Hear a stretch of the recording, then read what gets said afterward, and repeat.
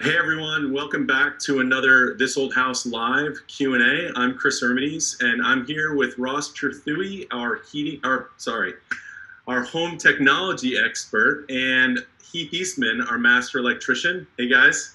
How's it going? Good, good.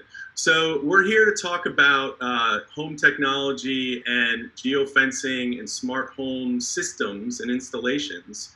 And before we get into that stuff and the Q and A, Ross, I gotta ask, like, did you fall down the rabbit hole? what is that that door behind you? It's a mini door, Chris. It's you don't have a mini door in your house? Is that is that where you practice your uh, your dunking? Weird? Does this look weird? That's amazing. It looks like the door would be 20 feet away. it does. Yeah. It's very, it's very tricky. I love it. It's very cool. Um, how are you guys doing? Staying Good. Good. Yeah. No, staying busy, managing. Good. Um, well, Ross, I understand you wanted to chat a little bit about uh, geofencing, something that um, you know a lot about. I know I learned about it 15 minutes ago when you just described it. So, uh, you share with our audience what geofencing is and how sure. it works and what the benefits are?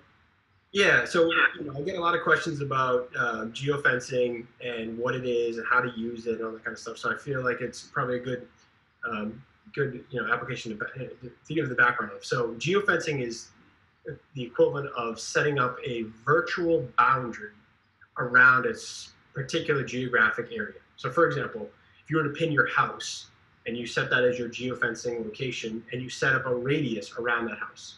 So let's just say you set it a mile or five miles or 10 miles or even 500 feet.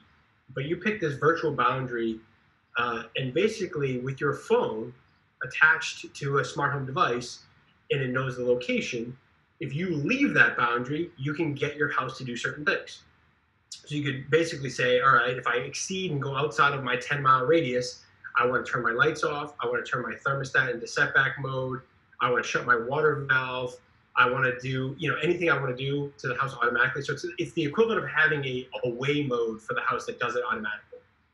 And then, this, uh, you know, on the contrary, when you come in, you know, you enter that radius or you enter that, you know, geolocation, when you do that, then you can have the house turn on.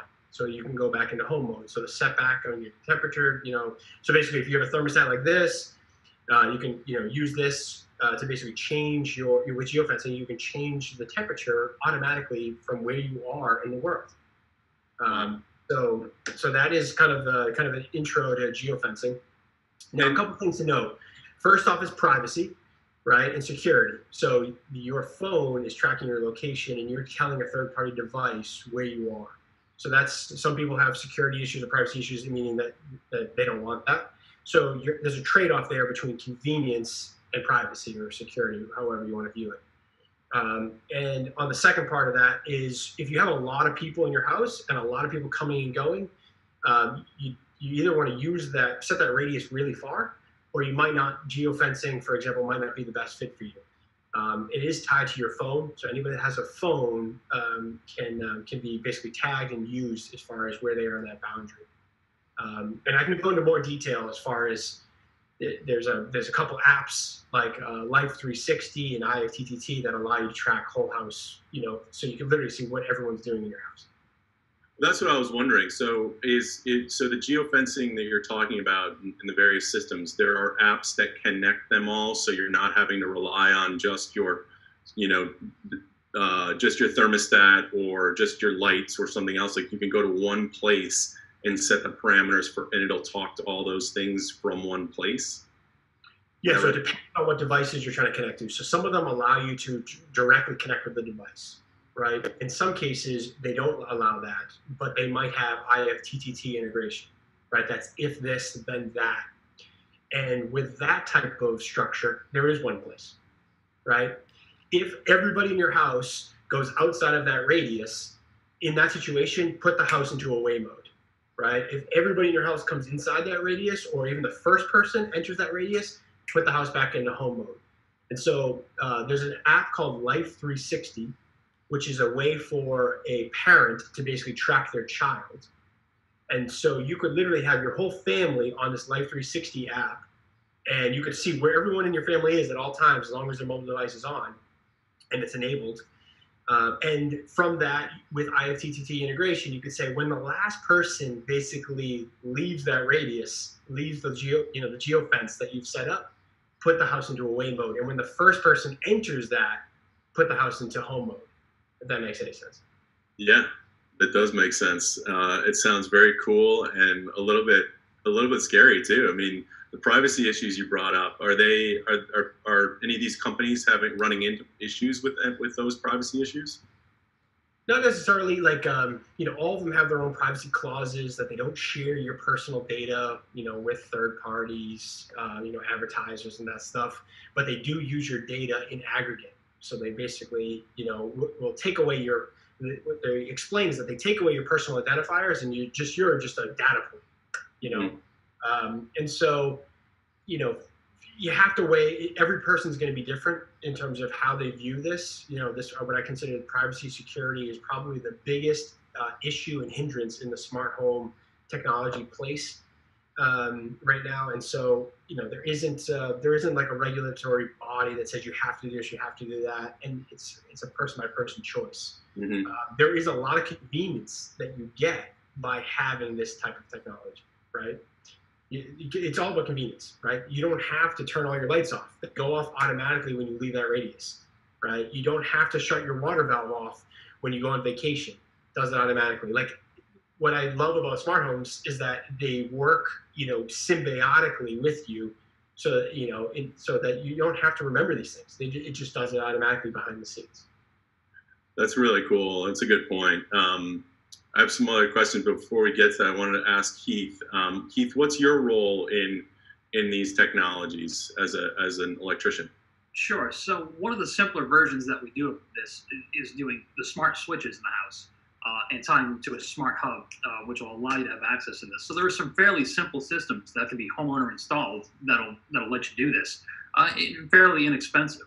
Um, mostly what we're seeing it for is turning the lights on and off as you come and go. But the greater there's a greater use. You can you can treat anything pretty much like a switch, like an open or a closed contact. So I mean, the potential is kind of unlimited. You could tell it to turn a radio system on or off. You could tell it to turn the sprinklers. You could tell it to do anything as long as it's just telling a switch to go on or off, depending on your location or the location of that particular device. That's a really good analogy. The the and I mean, it, it helps sort of pull it all together for me in my head. Just that hmm. that that boundary is the switch because you're you know it's based on your on your cell on your cell phone. I assume you have to have a smartphone, obviously, and it yeah. has certain apps, and it's all it's all going to talk together that way. Yeah. So once you enter that, it just tells the switch to open or close, essentially. Once you're in that space, or a series of switches, or you know, like a giant macro command that sends this giant chain of commands to do whatever you want it to do. Yeah. And Ross, are these things that people can, with the exception of some of the more complicated systems that you know, and like well, well, Heath, you mentioned that that homeowners could install um, some of these light switches. Is that? Yeah, yeah. So actually, Lutron has some simple stuff that in some of their smart hubs, or the geofencing's in there. You can actually go ahead and turn that on yourself uh, and set that up so that you're if you replace the outside light switches with the smart switches, they'll turn on when you come home or when you get close enough to whatever you set your distance. And all of that is connecting to your Wi-Fi in the house, and then right. and then talking to your smartphone. Exactly. Smartphone.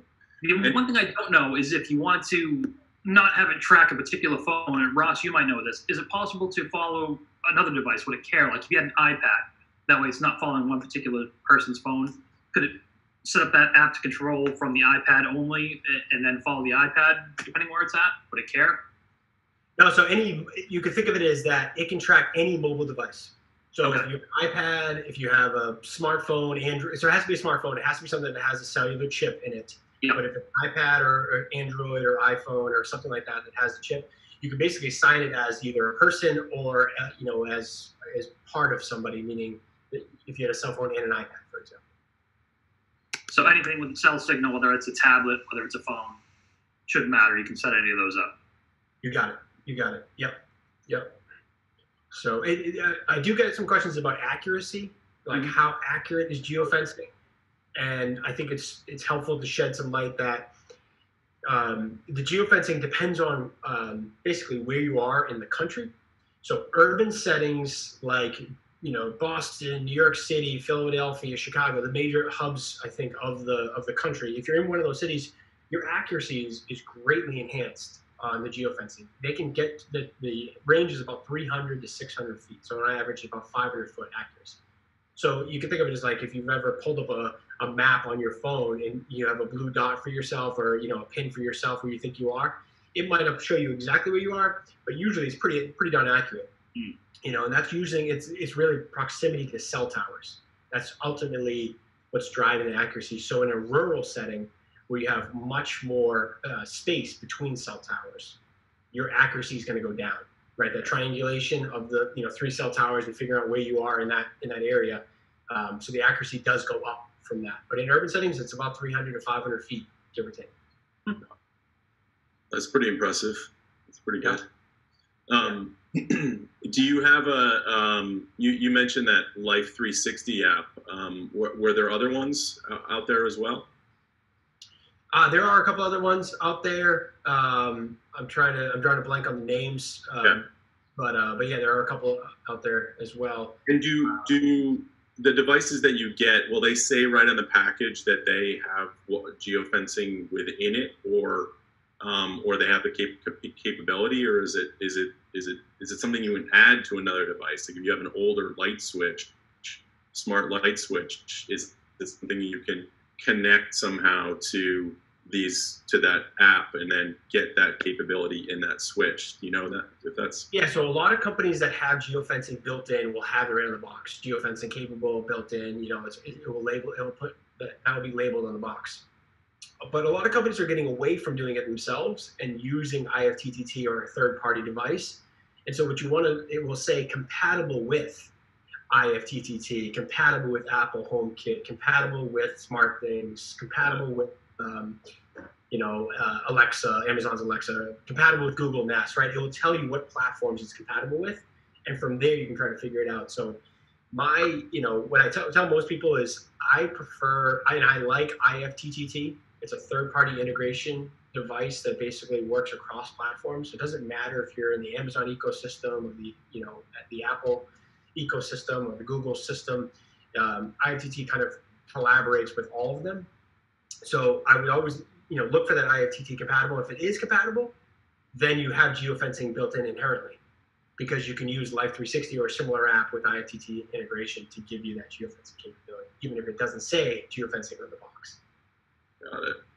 And how long has this technology been been around? How long has it been? Is, is it just now becoming more prominent and common, or has it been has it been around for quite a while? Well, you know, technically geofencing's been around for a long time, but um, but it's really only been talked about, um, you know, over the last probably two to five years. Mhm. You know, uh, at what level? Yeah, it. So- All right, it's interesting stuff. It's uh, I'm, you're making me think I should change some lights in my house. Although right now, uh, we're not going anywhere, so I don't know that it's going to do me much good. But Once uh, the pandemic ends, then we yeah, talk. the pandemic is, it's, it's a good. Yeah, we'll definitely dive dive into it.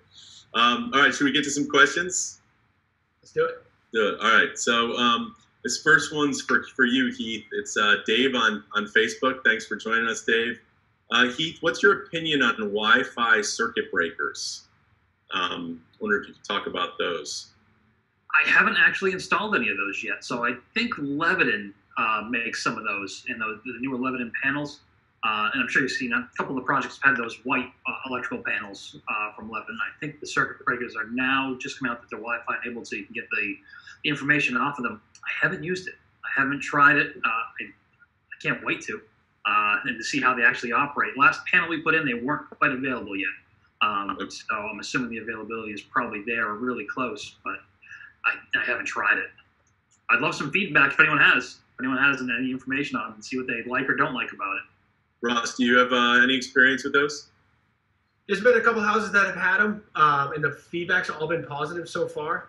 Um, and uh, so Leviton, I think, is the, the main brand that came out with it first. I think there uh, there's some others that have followed suit. Siemens, I think, has their own brand now, um, and there's a couple others, I think. But um, That's the builder show, I think. Them in Yeah, the you see them at all the trade shows. Yeah. The IBS. what are you getting out of them? Like, what's the what what is the value of having a Wi-Fi enabled circuit breaker? What's it what's it doing for you? So when it's yeah, actually, Heath, you go. I I was going to say, from what we've seen, I don't know that you can do a remote reset on or off. I don't believe. I think it's more just the status indicators to tell you what state it's in. hmm Are you Yeah. getting load capacities and like seeing how much amps that circuit's drawing and like that level of information and being able to monitor your electricity use through it, or is it just simple knowing if it's working or not? So if, you, if you're familiar with Sense, you know Sense, that electrical device, it's got two CT clamps that measures the power on L1 and L2, like the two hots coming in your panel. Yep. This this type of technology is taking that, but it's applying it to a circuit breaker by circuit breaker um, arrangement. So you're measuring power on every single circuit going outbound, uh, and you're measuring voltage and you're measuring amperage, right? And uh, and frequency and a couple other things, but you're measuring those two things, um, and from there you can figure out where your power usage is. You can see where the power is being used in your house. So it's, it's it should give you more granular detail of how your house is using electricity. That's cool. And if I had if I had a like let's say I had a table saw plugged into a circuit and I was wondering if it was getting a full amp draw or if there was a voltage drop or something in it, would would that Wi-Fi would that breaker be able to tell me that? Yeah, you could pull it up on the app, and you could see how much power it's using at that moment in time. You can see the volts, you can see amps, you can see everything about it, and so you can also use it for diagnostic reasons, right? If something if something's not working right, Yes, if it's something's not doing what it's supposed to, if the breaker is tripping, if that, that's the case. So, so from the ones you've seen, you can actually get that kind of real time data like you get with the sense. You can see the voltage, the amperage in real time of, of what it's doing. Mhm. That's really cool. Yeah. And I, I, to your earlier point, though, I don't think it's resettable from uh, from the I Wi-Fi. would, think, I would still think that's mechanical. Yeah.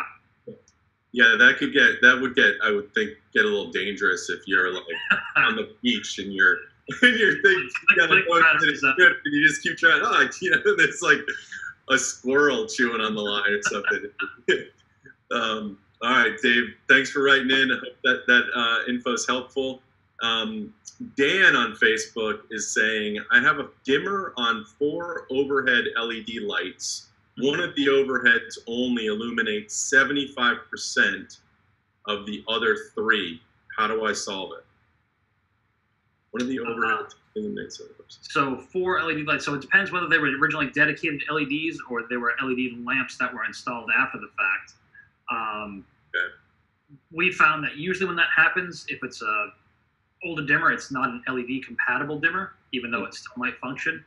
Um, one of the ways a lot of times you can kind of cheat this to test it is in that system, uh, you can actually throw an incandescent lamp in that puts an additional load on the system and see if it operates properly. And if it does, typically it's something with the more. We've seen that it's been a dimmer that wasn't compatible. It makes sense. Okay. Yeah, I would ask him too to see are all of the LED bulbs the same, right? Because you've got four lights. If they're four different LEDs or three are the same and one's different, uh, then they're gonna have different, you know, different load ratings, right? And it's gonna have a different response potentially. But I think he hit the nail on the head. It's probably that the dimmer switch itself is not LED compatible, and there's different styles of LED compatible dimmers too that I found. Yeah. the hard way. You know, there's you know, leading edge and trailing edge and all this other and triacs and stuff like that. So it can get really complicated really quickly. But uh, you got to get the right dimmer switch. Absolutely. Right, cool. Um, thanks, Dan. Hopefully that helps. Uh, let's see. We got um, Michael on Facebook. Thanks for joining us, Michael. Why is it important to not bond the neutral and ground together in a sub panel? So in a sub panel, at, at the main panel, they are bonded together. In a sub panel, they're separated because you want a completely isolated path for your ground. So they want them entirely separate at that point. So if something were to happen, that ground is entirely independent and gets it right back to the main point and back into the system. Okay, got it. Thanks, Michael. Hopefully that answers your question. Um, we got Jack on YouTube. I think this might be for you, Ross. New to uh, new to us with no geofencing. Uh, are there Bluetooth-based geofencing products that keep the the um, let's see that keep the house, keep the dog in a, the pooch, keep the pooch in a designated area versus laying a circle of wire. So it sounds like they're asking if there's a way to create the invisible fence using geofencing for for an animal. I think I think I'm understanding that correctly. Um, I don't know if I don't know if I know of a product that would give you that capability. Um, I'm sure that there are Bluetooth dog like collars. Yeah. That would be able to use Bluetooth, you know, or some other type of communication protocol to basically tell the approximate distance of the dog. I'm like, I'm just thinking out loud, like, could you could you treat the dog as a homeowner, you know, a person within your family, and have this collar, you know, basically connect to the Life 360 or a similar app type of account. You know, you might not get to the level of detail of 20 or 30 feet because you're only going to get 300 to 500 in an urban setting. But um, so I don't know if geofencing would necessarily work for a dog per se, um, unless you had a really big yard. Mm-hmm. Okay. All right, uh, Jack. Hopefully that's helpful. Thanks for writing writing to us, uh, Justin on YouTube. Do you recommend Wi-Fi extenders to prevent smart home devices from dropping connection in different parts of a home? Yes. I, I could tell you were gonna. Yeah. Go ahead. Yeah. And I, you know, I don't know if Heath wants to chime in here, but it's basically if you don't have a good Wi-Fi network around your house, you're going to get drop call, uh, dropped uh, signals, and uh, part yeah. of that is is extenders to just take the same bandwidth and extend it over a larger area of coverage. The other option is to go to a mesh network, which uh, basically gives you, um, I think, even a far superior uh, Wi-Fi uh, signal across your house. So I'm with you on that one. And I'm not a big fan of extenders. I've never had a lot of luck. Uh, it seems like they'll always change the speed of what the original system is when it's trying to go to an extender. It'll slow it down a lot of times. Uh, I'm definitely a big mesh network guy. And there are a few products that we use where it's nice. You can actually still hardwire, but if you structured the house to have some Cat 6 run through the place, it, Mhm. and so it's repetitive. On top of being a wireless mesh network, you still have the hardwired connection. So if something fails, it can always kind of backfeed and go back through the system and still keep everything pretty solid. But definitely one of the most critical pieces when you ever start putting any of the systems in your house is you have to have a really, really strong and stable Wi-Fi. network. That's the most critical part. That's step one. How does a mesh network differ from an extender? Like, what's the what's the difference between those two? So on a mesh network, what you're effectively doing is um, you have multiple nodes of inputs and outputs. And so think of a think of a you have your router, right? Your main Wi-Fi router in your house, and that's putting output, you know, sending out a signal, and then it's looking for devices to send, you know, basically grab that data and bring it back to the Wi-Fi router, right? So it's, it's taking sending out outputs and inputs. It's receiving both when you have a Wi-Fi extender, you're basically putting an access point far out in the system that basically is wirelessly communicating back and forth with that router. When you put in mesh networks, you basically have multiple access points that all act as outbound and inbound, and they all basically um, support each other. So it's it's like having more Wi-Fi routers located around your house as opposed to just a single extender right? So th- there's it's a fundamental difference, and Mesh has a lot of other like small features, um, you know, multiple user input, multiple user output, um, beam forming. It has all this other cool technology that basically enhances the speed depending on the targeted device that you are using. Is it so? I have a I have an Orbi system, and I'm pretty sure I'm It's pretty, Mesh. It's a me- yeah. That's what I It's thought. Mesh. Yeah. That's what I That, thought. that It's, Orbi is one. Yep. it's awesome. I I love it. Um, it it's been and the cool thing about it too, I noticed is that like I moved the I moved the one. It came with one of the what do you call it? Satellites. Yeah, one of the satellites, and my house is small enough that I only need the, the main one and this other satellite, and I can actually, you know, I had it in one, you know, on the third floor of the house, and then I needed access down in the basement, my shop, and I just mm-hmm. brought that thing down here, and it's like, it's perfect. It's just Yeah. the speed's amazing, and Yeah. it does everything, and I still get great. I still get better coverage up on the third floor than I expected. So yeah, the mesh network is, is that that system's awesome. And the cool thing is, it's it's expandable, So if you wanted to cover your third floor better, you could add another one of those satellites, pair it with the system, and then you just you know strengthen the whole system that much better, and you've got much more coverage. Yeah, the more you add, the better it just gets at talking to itself. Really does does a great job. Yep. Yeah, it's it's amazing. We've got you know I'm streaming videos from our from our server, and there's a you know movie on Netflix being streamed, and then you know a Peloton class going on, and we're like all like there's no lag whatsoever, and we're all in various parts of the house. It's pretty it's pretty impressive. So. I'll, add mesh is definitely the way to go for most houses, I think as well. Uh, but I'll add that you're still only as good as the the internet package from your provider. Mhm. So you have the best mesh network in the world. You could have satellites all over the wazoo, but if you only have a, you know, if you have a capped or limited data plan in terms of from your internet service provider, um, then you're only going to get to that speed maximum, right? So some in some cases they might sell you a 100 gigabyte per second plan, a 300 or sorry megabyte, 300, you know, 600, a gig, you know. So you have to pick and choose what your package is from the internet from the ISP, the internet service provider, with Verizon, Comcast, Cox, Time Warner, blah blah blah blah. All right, awesome. So Justin, there you go. Mesh network. That's your answer. Um, hopefully that helps. Um, Frank on Facebook. Thanks for joining, Frank. Uh, hi, Heath and Ross and Chris. Hey, Frank. My house has a new GFCI circuit breakers in the 1980s panel. Do these have a lifespan to be concerned about, or are they good as long as the test button works? That's, that's a question I'm wondering about. It's a great question. I, I wish there was a better way to test them, but it is the test button. Um, you know, they do want you to, there's usually a sticker that comes with them that says test these once a month, make sure they operate. Um, you can do a plug-in wall tester. Uh, there are digital versions to see exactly what point it is tripping, uh, to see that it is tripping at the proper level that it should be. If it's not, you can certainly replace it. Um, but usually they pretty much work or they don't work. And those plug-in trippers you're talking about, it's like a, a three-pronged, basically male outlet. You put put in, you press a button, and that's is that what you're talking about? that's the simple one to put in just to see if it actually physically trips if you want to do that. But they actually make a digital one that'll tell you and uh, you can set a level or see the level that it actually is popping. So if you want it to trip at five milliamps, which is the GFI should, um, you can see how close it is to tripping to that. Uh, if it starts climbing to 10, 20, 30 and it's not tripping, it's time to replace it.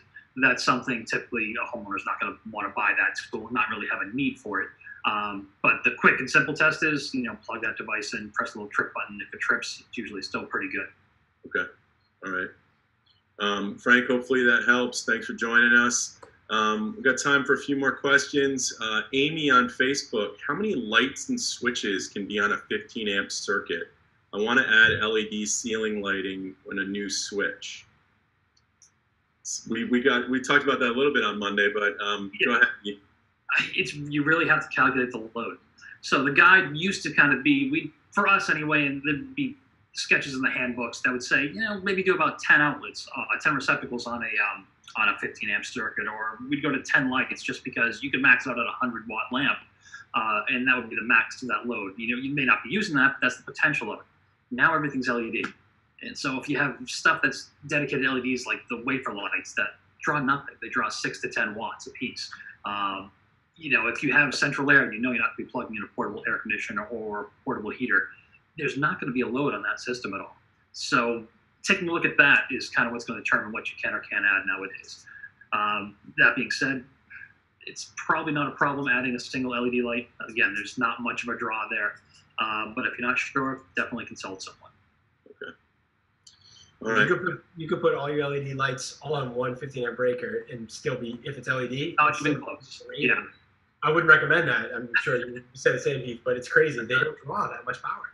Yeah. No, we did a commercial building that had that, you know, one-story assisted living facility where I was looking at the print and the entire the entire lighting package, all dedicated LED. So there's no chance of changing it unless you physically took a fixture out.